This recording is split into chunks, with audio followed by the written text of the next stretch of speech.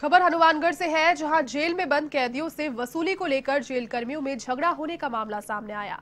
इस दौरान जिला कारागृह की डिप्टी जेलर कविता बिश्नोई ने जेलर सुरेश और उनकी पत्नी पर मारपीट करने का आरोप लगाते हुए मुकदमा दर्ज करवाया। डिप्टी जेलर कविता बिश्नोई के मुताबिक जेलर सुरेश कैदियों से रुपए की वसूली करता है। इसी बात को लेकर जेलर सुरेश ने घर में घुसकर शराब के नशे में उनके साथ गाली गलौज की। इसी के साथ उनकी पत्नी के साथ मिलकर उससे मारपीट भी की। मामला दर्ज होने के बाद पुलिस ने पूरे मामले की जाँच शुरू कर दी है।